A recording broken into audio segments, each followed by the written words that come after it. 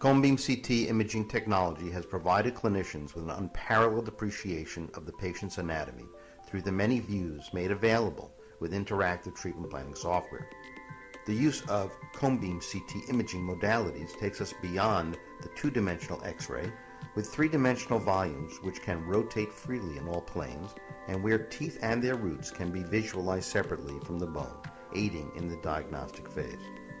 This, coupled with proper 3D diagnosis and interactive treatment planning software, provides clinicians with a new digital workflow that is streamlined by 3D Diagnostix' turnkey solution and allows for true restoratively driven implant reconstruction. Implant planning can then begin using highly advanced interactive treatment planning software. The tools available in implant planning software can help you and guide you through the treatment planning process by making it easier to place the implants into the receptor sites so that they would be surrounded by the most available bone.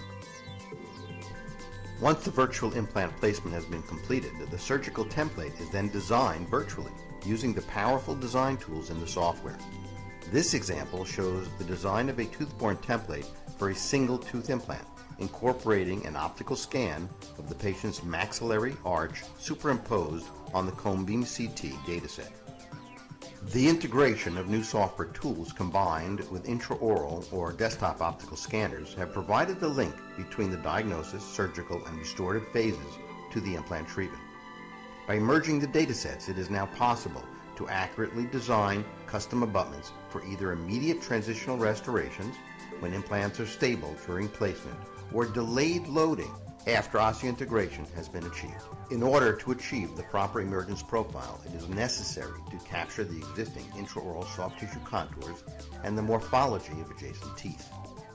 Special CAD-CAM software can then be used to design a custom abutment in titanium or zirconia to support the desired shape of the virtual teeth, the implant position is therefore based upon the ultimate restorative outcome. At the time of implant surgery, the tooth-borne template will be securely seated onto the maxillary teeth to provide for accurate sequential drilling protocols with the proper drill keys. The implant can then be delivered to the receptor site with confidence, avoiding adjacent vital anatomical structures. If the bone is adequate, and the implant is found to be stable enough for an immediate restoration, the previously fabricated CAD-CAM abutment can be positioned onto the implant, followed by the transitional crown. In this example, the implant, abutment, and transitional restoration were placed in one minimally invasive visit.